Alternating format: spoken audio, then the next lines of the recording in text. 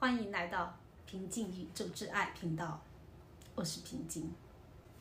如果您是第一次来到我的频道呢，我的频道主要是讲一些灵性开悟和宇宙吸引力法则的实用性的，嗯，帮助大家能够更快的吸引到自己想要的东西，显化和自己的梦想。那么今天我想说的这个话题呢，是我们如何可以对人说不，可以如何拒绝人。因为很多的情况下，我知道的很多人都觉得，哎呀，如果我跟他说了不，我是不是得罪他了？如果我跟他说了不，我好像就觉得不够义气，然后也不够朋友。我相信我们每一个人都有这个阶段，都有这个时期。哎呀，算了吧，啊，帮他一把吧。但你一旦帮助了一次，然后他又靠住你第二次，靠住你第三次，然后你觉得就永远要帮助他，因为他已经习惯了你的帮助，而且好像你也习惯了对他的帮助。但是呢，长久以后呢，其实你又不开心了，你又觉得哎呀，他老帮着，每次他都我都给他做事情，好像都成了为自自然而然的了。在这种情况下，你应该就提醒自己，我要停下来。那么今天这个视频呢，我真的就想提醒大家，我们为什么可以对人说不，而且在说不的同时，我们其实是为他人好。是为了他们好，是为了他们自己能够独立。为什么我想做这个视频，这个题目的视频呢？因为我们的很多人，我们其实是心地非常善良，我们都想去帮助别人。不管你的家庭、你的朋友，或者是陌生人，都有一种希望能帮助到别人的这颗爱心。然后我就想到，这个不是一个人的事情，这个很多很普遍的一种现象。那么我们可以怎么样把这个 stop 停下来，不再让你自己成为这个被吸取能量的对象，而且其实我们也是在帮助对方，帮助对方。来建立他们的自信，或者建立他们的独立性。因为我自己的这个呃灵性大师告诉我们了这样一句话，他说：“其实你没有能力来伤害别人，我们是没有能力去伤害别人的，去伤害他人的。”你想一下，我给你举个例，如果你在一个超市里面，突然说了一句什么话。你突然就在那儿发泄或者生气，然后就说，呃，anger，就开始在那儿无聊骂人什么之类的，在那儿突然吵起来了，大声吼起来了。这个时候你会想到什么？百分之九十的人，包包括百分之九十九的人，都不会搭理你的。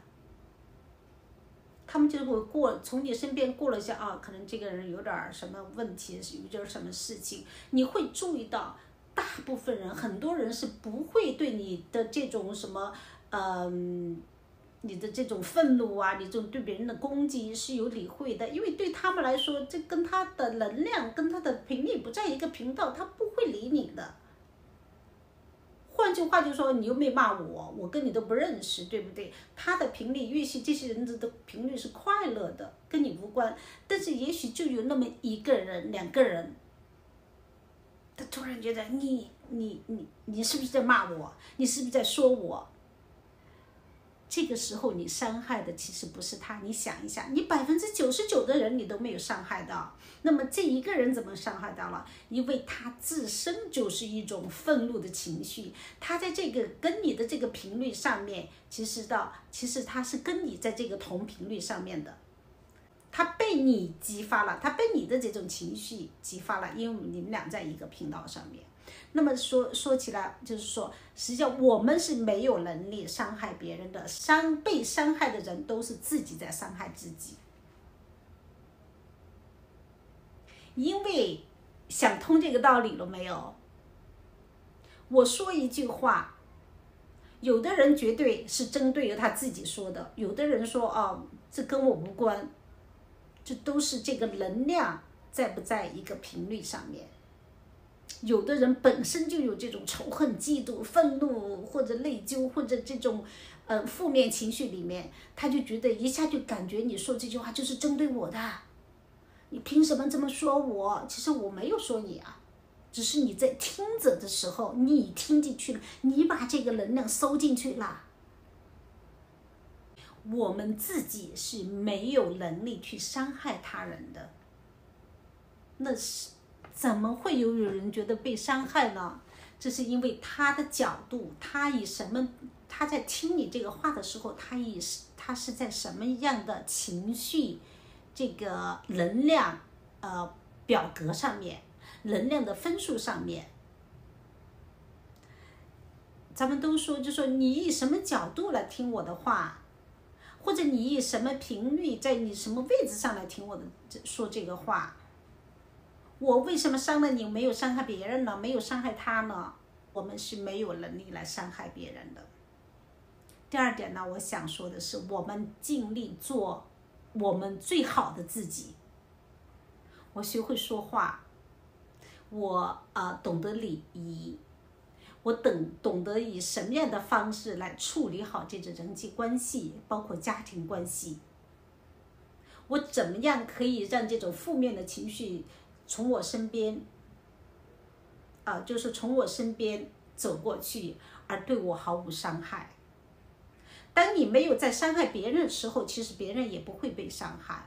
如果你觉得你是自己做错了事情，然后你是有责任的，那么你就承担你自己的责任。但是你没有有意的去伤害别人的时候，他这种负能量，你就让他 pass，就让他走。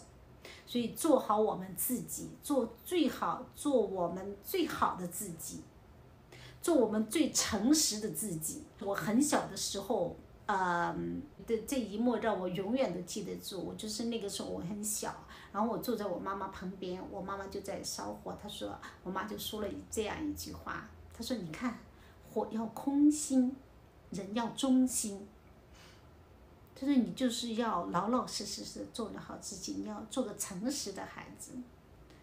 你对妈妈要诚实，对你自己要诚实。当时很小的我，其实我都不知道什么叫忠实，什么叫诚实。那我妈妈就说，啊，妈妈就说，做个老老实实的人，对妈妈也老实，对你自己也老实。所以这句话我到现在我都觉得是对我的受益匪浅。说。做一个诚实的自己。当你有了这个诚实的自己以后，你可以诚实的面对任何人，你可以诚实的面对全世界。我的我的信仰就是从我小的时候来的。那么现在这个宇宙吸引力法则学了以后呢，我也一样的感受这一点。我们保持我们的正能量，我们保护我们的正能量。